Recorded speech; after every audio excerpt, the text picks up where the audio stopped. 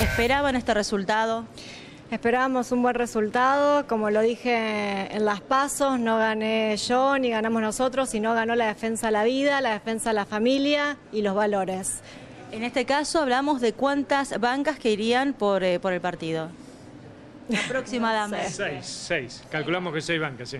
Perfecto. Bueno, ¿esperabas ese resultado? ¿Esperaban todos esa cantidad de, bancas, teniendo en cuenta Y, y- y lo notamos, obviamente, como saben, hicimos una campaña totalmente austera, con pocos recursos, y sin embargo la gente eligió esto, eligió la gente que no viene de la política, la gente que se pone en el hombro los valores, que se pone en el hombro la defensa de la vida y que está en un espacio por convicciones y no por intereses personales. Amaya, preguntarte también la elección a nivel local, ¿tienen algunos números? ¿Saben qué ha pasado con el candidato a concejal?